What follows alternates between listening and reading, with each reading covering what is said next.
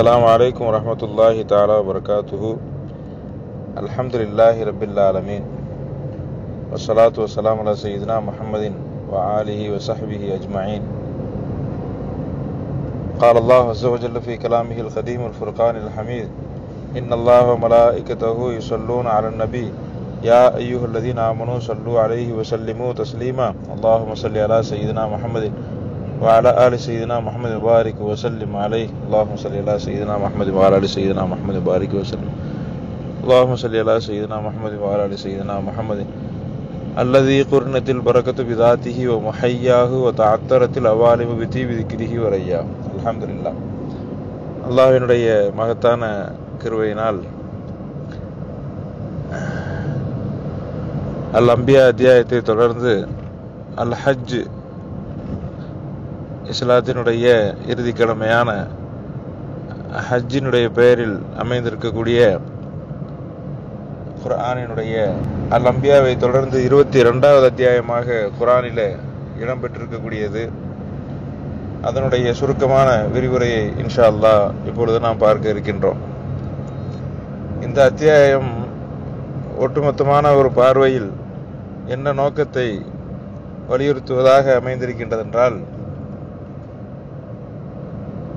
அல்லாஹினுடைய நினைவு சின்னங்களை கண்ணியப்படுத்துவது அவற்றுக்கு மதிப்பளிப்பது அல்லாஹ்விடத்திலேயே சரணடைவது அல் இஸ்திஸ்லாம் அல்லாஹ்விடத்திலேயே சரணடையக்கூடிய இஸ்லாம் என்ற வார்த்தையினுடைய ஒரு விரிவுரையாக இருக்கக்கூடிய நம்முடைய வாழ்க்கையின் எல்லா நிலைகளிலும் அல்லாஹையே சரணடையக்கூடிய அவன் மூலமாகவே அனைத்தையும் பெற்றுக்கொள்ளக்கூடிய அந்த ஒரு பாட்டையை வலியுறுத்துவதாக நினைவூட்டுவதாக இந்த அத்தியாயம் அமைந்திருக்கின்றது. அது எந்த ஒரு வழிமுறையில அதனை அல்லாஹ் இங்கே வலியுறுத்துகின்றான் என்றால் காட்சி பூர்வமாக இரு- நமக்கு கண்ணுக்கு முன்னால் தெரியக்கூடிய பல்வேறு விதமான அடையாள சின்னங்கள் ஹஜ்ஜினுடைய கிரியைகளை நாம் பார்க்கக்கூடிய பல்வேறு அடையாள சின்னங்கள். மகத்துவம் மிகுந்த அந்த காட்சிகளின் வாயிலாக அத்தோடு நம்முடைய அல்லாஹினுடைய அந்த வலிமையை வல்லமையை உணர்த்தக்கூடிய அவனுடைய ருபூபியத் அவன் நம்மை படைத்து பரிபாலிப்பதற்காக இந்த உலகத்தில் அமைத்து கொடுத்திருக்கின்ற எத்தனையோ அந்த படைப்பியல் ரீதியான அம்சங்கள் அவற்றினுடைய வல்லமையும் நமக்கு சொல்லி அவற்றின் ஊடாக அல்லாஹ் ஜல்ல சுபஹானஹு தன்னிடத்திலேயே நீங்கள் படைப்பினங்கள் சரணடைய வேண்டும் என்பதை வலியுறுத்துகின்றான். அவனுடைய அடையாள சின்னங்களாக இந்த உலகத்திலே அவன் அமைத்திருப்பவற்றுக்கு மதிப்பளிக்க வேண்டும் கண்ணியம் அளிக்க வேண்டும். ஹஜ் போன்ற கிரியைகளின் நோக்கமாக அது அமைந்திருக்கின்றது என்பதை இந்த அத்தியாயத்திலே வலியுறுத்தி காண்பிக்கின்றான். அதனுடைய முதலாவது வசனம் இப்படி அமைகின்றது. யா ஐயுஹன்னா சுத்தகு ரப்பக்கும் இன்ன ஜல்சலத்த சாத்தி ஷையுன் அதீம் பொதுவாக மக்கள் அனைவருக்குமாக அல்லாஹ் அழைப்பை விடுக்கின்றான். மக்களே உங்களுடைய இறைவனை நீங்கள் தக்குவா செய்யுங்கள். வெறுமனே அவனுடைய ஏவல்களை ஏற்று அவன் உங்களுக்கு தடுத்திருப்பவற்றை தடுத்துக் கொள்வதோடு மட்டுமல்லாமல் ஒவ்வொரு நிலைகளிலும் நீங்கள் தக்குவா செய்யுங்கள். தக்குவாவினுடைய படித்தரங்களை அறிஞர் பெருமக்கள் ஞானவான்கள் எப்படி நமக்கு வலியுறுத்துகின்றார்களோ அதை உணர்ந்து தக்குவா செய்வது மனித சமுதாயத்தினுடைய ஒட்டுமொத்தமாக விடுக்கப்படக்கூடிய அழைப்பாக இருக்கின்றது. தக்குவாவினுடைய முதல் படித்தரமாக அல்லாஹினுடைய கட்டளைகளை ஏற்று அவன் தடுத்திருப்பவற்றை தவிர்த்து கொண்டு சந்தேகத்திற்குரியவற்றை தவிர்த்து வாழக்கூடிய வாழ்க்கை நமக்கு அமைந்திருக்கின்றதென்றால் மனிதர்களுடைய வாழ்வியல் அமைப்பில் அவர்கள் எதனோடெல்லாம் தொடர்பு கொள்கின்றார்களோ அந்த தொடர்புகளின் பின்னணியில் அல்லாஹ்வினுடைய குவத் அவனுடைய வலிமைதான் அந்த இடத்திலே உடனிருந்து வெளிப்பட்டு கொண்டே இருக்கின்றது என்று பல்வேறு குரானுடைய வசனங்கள் நமக்கு வலியுறுத்தி காண்பிக்கின்றன. எனவே நம்முடைய தொடர்பை நாம் உணர்ந்திருப்பதோடு நம்முடைய வாழ்வியல் ரீதியாக நம் தொடர்பு கொண்டிருக்கக்கூடிய ஒவ்வொரு அம்சத்தோ அம்சத்தினுடைய முக்கியத்துவத்தையும் உணர்ந்திருப்பதோடு அவற்றிலே அன்பு சாஃபாக் நமக்குள்ளேயும் நமக்கு வெளியேயும் அனைத்து அத்தனை படைப்பினங்களிடத்திலும் அல்லாஹினுடைய குவத்து தான் வெளிப்படுகின்றது என்ற அந்த அம்சத்தை உணர்ந்து செயல்படுவது தக்குவாவினுடைய படித்தரங்களில் மிக முக்கியமானது. அதே போல நம்முடைய நிலை என்ன என்பதையும் நாம் உணர்ந்து கொண்டிருப்பது எப்படி என்றால் நம்முடைய தன்மை என்பது அது இன்மை நிலைதான் ஒன்றுமற்ற நிலையாகத்தான் அமைந்திருக்கின்றது. அதில் அல்லாஹ் ஜில்ல சுபஹானுகுவ தாலா அவனுடைய உஜூதை கொண்டுதான் அவனுடைய இருப்பை கொண்டுதான் அதனை அர்த்தமுள்ளதாக ஆக்குகின்றான். அவன்தான் நம்மை பேசச் செய்கின்றான் கேட்கச் செய்கின்றான் பார்க்கச் செய்கின்றான். அதே போன்று மற்ற அனைத்து தன்மைகளின் வழிபாடுகளும் அல்லாஹினுடைய உஜூதை கொண்டுதான் அவனுடைய இருப்பை கொண்டுதான் அது வெளிப்படுகின்றது. அவன் அனைத்து படைப்பினங்களிடத்திலும் இருந்து அதனை வெளிப்படுத்திக் கொண்டிருக்கின்றான் என்ற அந்த உணர்வை அடைவது இறையுணர்வை அடைவது அது தக்குவாவினுடைய படித்தரங்களில் மிக முக்கியத்துவம் வாய்ந்ததாக இருக்கின்றது. உச்சகட்டமாக அந்த நிலையினுடைய அம்சம் எப்படி அமைந்திருக்கின்றது என்றால் ஒவ்வொரு படைப்பிடத்திலும் அதனுடைய தோற்ற அமைப்பிலும் நாம் அல்லாவை காணக்கூடிய அந்த ஒரு சிந்தனையை ஏற்படுத்திக் கொள்வது. காணும் இடமெங்கும் அல்லாஹினுடைய காட்சி அவனுடைய வெளிப்பாடுகள் என்ற அந்த ஒரு நிலையை நாம் தக்வாவின் மூலமாக உணர்ந்து கொள்ள வேண்டும். அது ஞானவான்களுடைய தொடர்பிலே அல்லாஹ் நமக்கு வழங்கக்கூடிய மிகப்பெரிய ஒரு அற்கொடையாக அமைந்திருக்கின்றது. அந்த தக்குவாவை நாம் அடைவதற்குரிய முயற்சி தான் இந்த வாழ்க்கையினுடைய நோக்கமாக அமைந்திருக்கின்றது. அதை அல்லாஹ் இந்த முதல் வசனத்திலே சொல்கின்றான் யா நான் சுத்தகு ரப்பக்கும். உங்களுடைய இறைவனை நீங்கள் தக்குவா செய்யுங்கள்.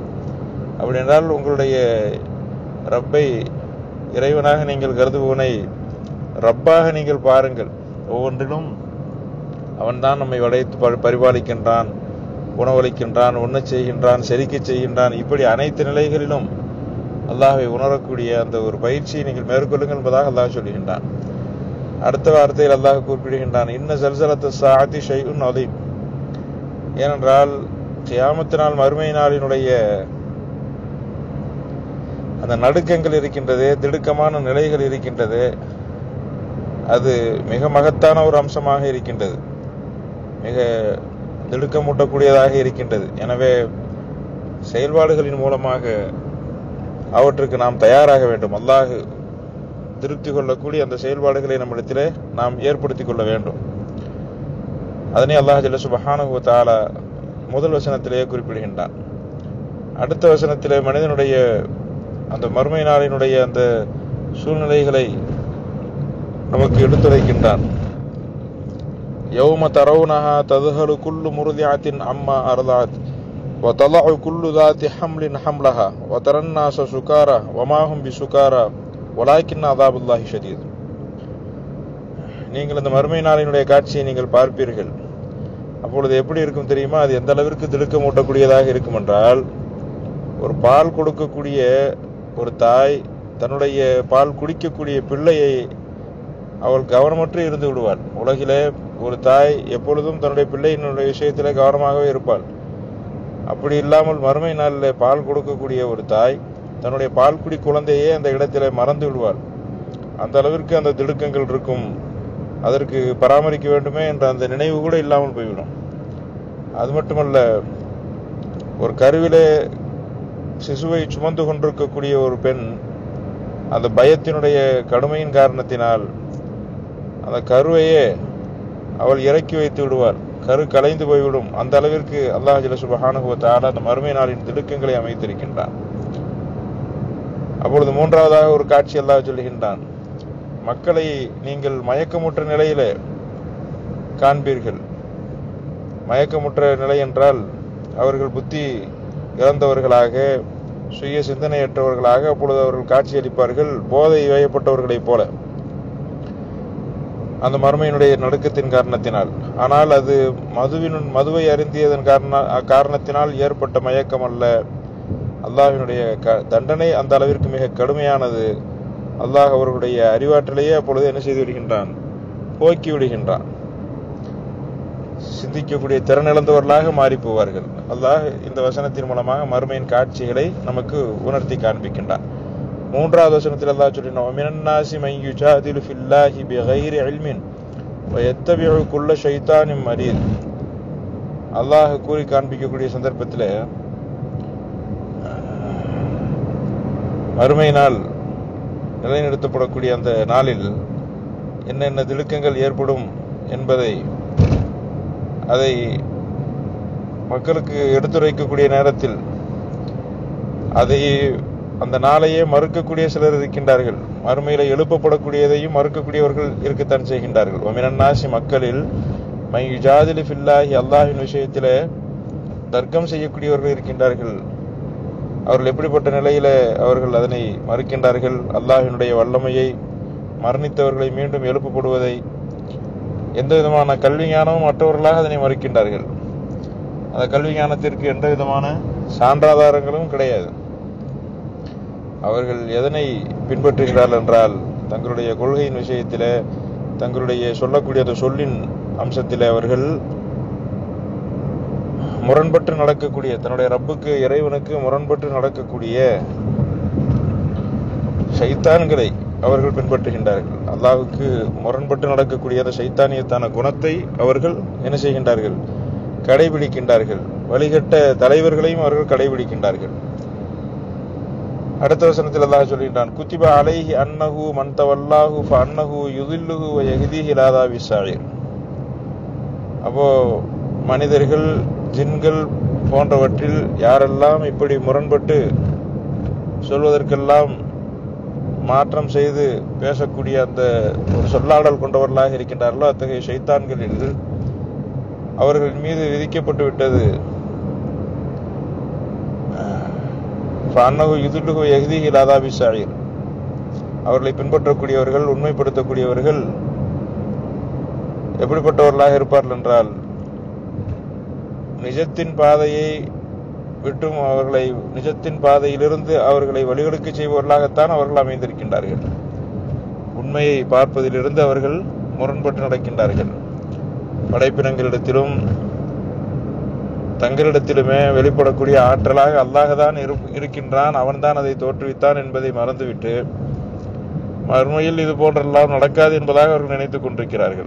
மனிதன் தன்னிலும் மற்ற படைப்பினங்களிடத்திலும் அவை தோன்றிய தன்மையை நினைவுகூர்ந்து பார்க்க வேண்டும் என்பதாக அல்லாஹ் இங்கே உண்மையை உரைத்து பார்க்க வேண்டும் என்பதாக அல்லாஹ் இங்கே நமக்கு அழைப்பு விடுக்கின்றான். இப்படிப்பட்டவர்களை யஹ்தீஹி ராதா பி சயீர் நரகத்தினுடைய தண்டனையின் பக்கம்தான் அவர்களை இழுத்து கொண்டு வரப்படும். அந்த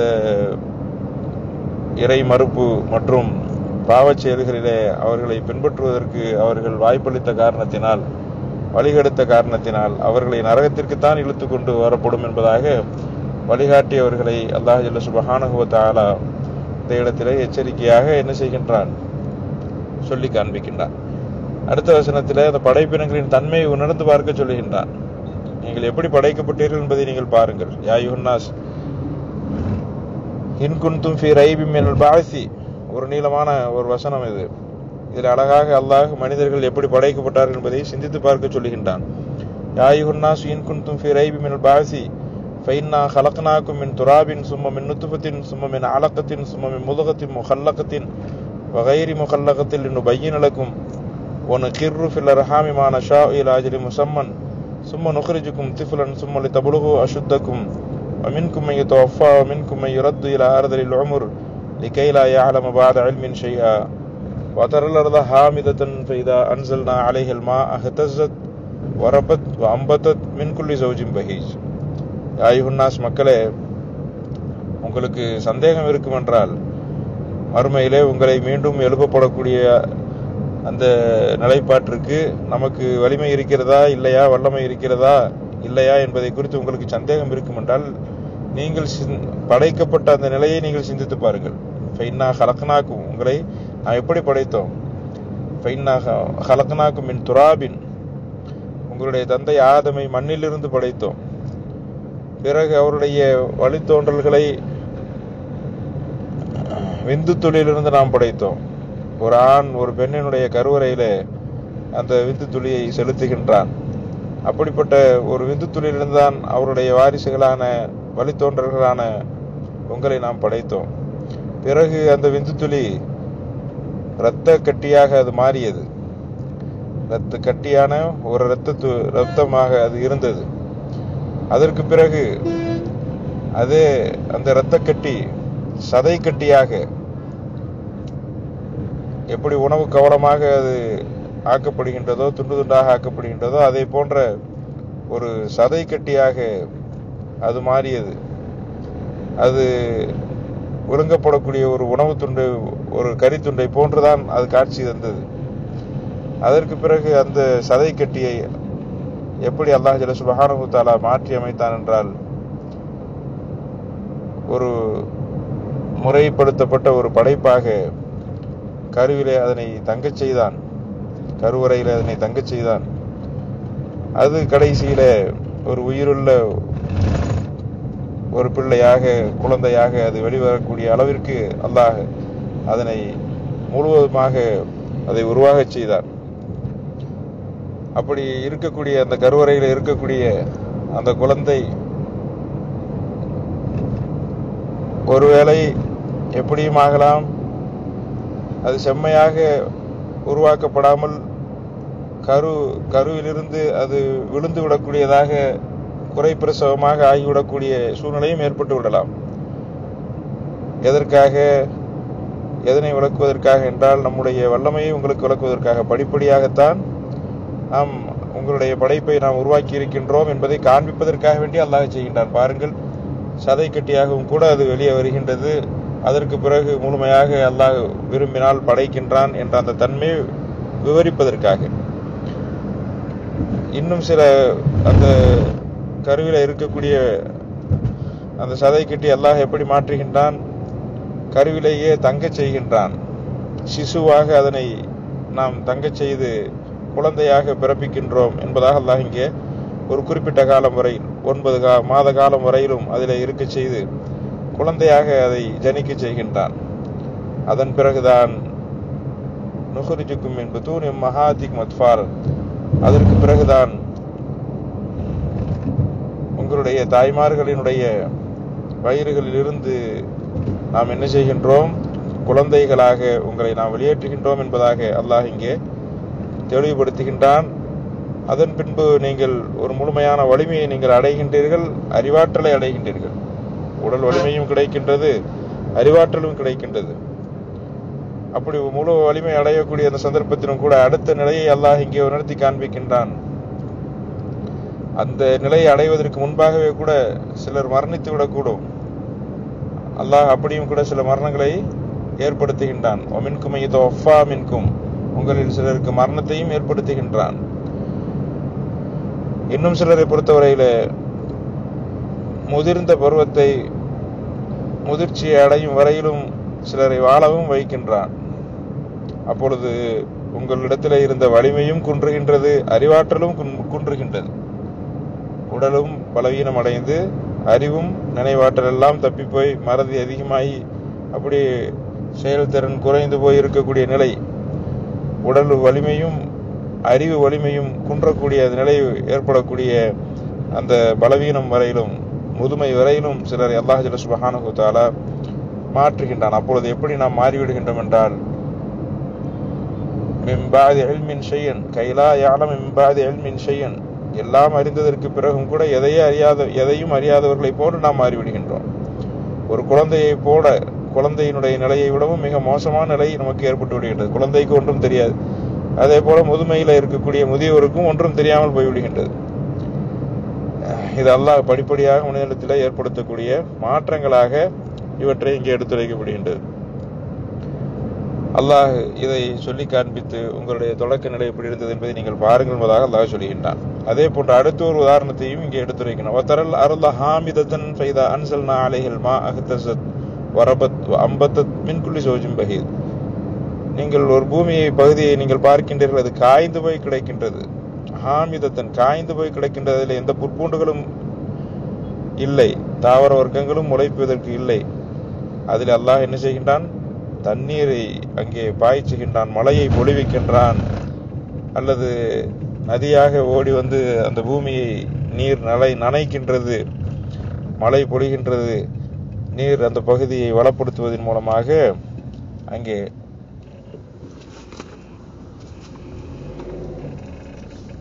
அல்லாஹ் சுபஹானஹு தாவரங்களை வெளிப்படுத்துகின்றான்.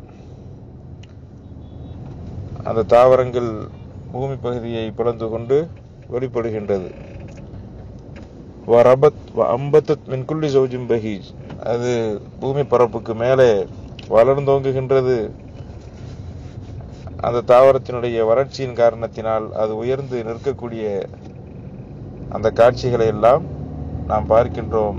மின்குள்ளி சௌஜிம் பஹீஜ் பார்ப்பதற்கு அழகான எல்லா வகையான அந்த தாவரங்களும் இந்த பூமியில் முளைப்பிக்க முளைப்பிக்கப்படுவதை நாம் பார்க்கின்றோம். ஆக இதுவும் அல்லாஹ் தான் ஏற்படுத்தினான். அல்லாஹ் தான் அன்புசிலும் ஆஃபாக்கிலும் நம்மிடத்திலும் வெளியிலுமாக அல்லாஹ் தான் ஒன்றுமில்லாமல் இருப்பதிலே படைப்பாற்றலை வெளிப்படுத்திய காலிக்கியத்தினுடைய அல்லாஹினுடைய படைப்பு திறனினுடைய வெளிப்பாடு. அப்படிப்பட்ட நிலையில் தான் மனிதனும் படைக்கப்படுகின்றான். மனிதனுக்கு தேவையாக இருக்கக்கூடிய தாவரங்கள் கொடி செடிகளும் கூட படைக்கப்படுகின்றது. அப்படி இருக்கும் பொழுது மறுமையினுடைய விஷயத்தில் நீங்கள் ஏன் சந்தேகப்படுகிறீர்கள் என்பதாக அல்லாஹ் இந்த வசனங்களின் மூலமாக கேள்வி எழுப்புகின்றான்.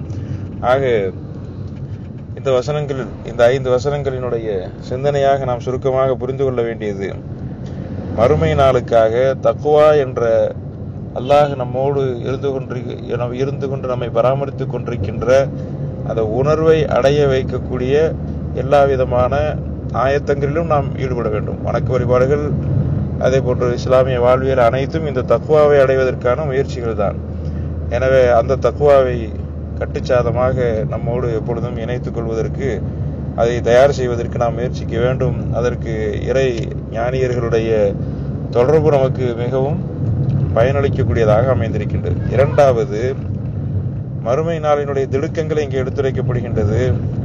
ஒரு பால் கொடுக்கக்கூடிய தாய் தன்னுடைய பிள்ளையை மறந்து விடுகின்றால் அதே போல் ஒரு கர்ப்பிணி தன்னுடைய குழந்தையை கருவையே அந்த இடத்துல கலைக்கப்பட்டு விடுகின்றால் அந்த அளவிற்கு மக்கள் எல்லாம் புத்தி இழந்து போய்விடுகின்றார்கள் அந்த அளவுக்கு கடுமையை அல்லாஹ் இங்கே உணர்த்தி காண்பிக்கின்றான். அடுத்ததாக மூன்றாவதாக அல்லாஹ் சொல்கின்றான் படைப்பை உருவாக்குவதிலே அல்லாஹினுடைய வழிமுறை என்பது படிப்படியானதாக இருக்கின்றது. அத்ததர்ருஜ் படிப்படியாகத்தான் அல்லாஹ் படைக்கின்றான். நினைத்த மாத்திரத்தில் முழுவதுமாக அல்லாஹ் ஒன்றை வெளிப்படுத்துவது கிடையாது. கொஞ்சம் கொஞ்சமாக அதை வெளிப்படுத்துகின்றான். அதே போன்று அடுத்ததாக நான்காவது அம்சம் முதலில் ஒன்றை படைக்கக்கூடிய ஆற்றல் அல்லாஹுக்கு இருப்பதே. மறுமையில் மறுபடியும் அல்லாஹ் அத்தகைய ஒரு படைப்பை வெளிப்படுத்த முடியும் அதற்கான சாத்தியம் இருக்கிறது என்பதற்கான ஆதாரமாக அது அமைந்திருக்கின்றது. ஐந்தாவதாக ஒரு மலையை அல்லாஹ் வெளிப்படுத்துவது அதன் தொடர்ச்சியாக பூமியை விளைவிக்க செய்வது தாவரங்களை வெளிப்படுத்துவது இது அத்தனையும் எத்தகைய ஒரு அம்சத்தை நமக்கு உணர்த்துகின்றதென்றால் அது ஒரு ஆதாரம். மறுமை நாளில் நாம் இறந்தவர்களை எழுப்புவோம் என்பதாக அல்லாஹ் சொல்கின்றானே. அவற்றுக்கு கண்கூடான உதாரணங்களாக தொட்டு நிறுத்து பார்த்து நாம் நம்முடைய உணர்வுகளால் புரிந்து கொள்ள தகுந்த அந்த ஆதாரங்களாக அது அமைந்திருக்கின்றது. எனவே மரணித்தவர்கள் மறுமையில் நிச்சயம் எழுப்பப்படுவார்கள். அல்லாஹிற்கு அதற்கான வலிமை இருக்கிறது என்பதை இந்த வசனங்கள் நமக்கு உணர்த்துகின்றது. வல்ல ரஹ்மான் அவனுடைய வல்லமையை உணர்ந்து அவனை வணங்கி வாழக்கூடிய அவனை உணர்ந்து அவன் நம்மோடு இருந்து நம்மளுடைய எல்லா செயல்பாடுகளை வெளிப்படுத்துகின்றான் என்பதை உணர்ந்து வாழக்கூடிய அந்த நல்ல பாக்கியத்தை அல்லாஹ் நம் அனைவருக்கும் தொந்தரவு புரிவானாக. ஆஹிர் தாவான அலமதுல்லாஹி ரபில்லா அலமீன் والسلام عليكم ورحمة الله تعالى وبركاته.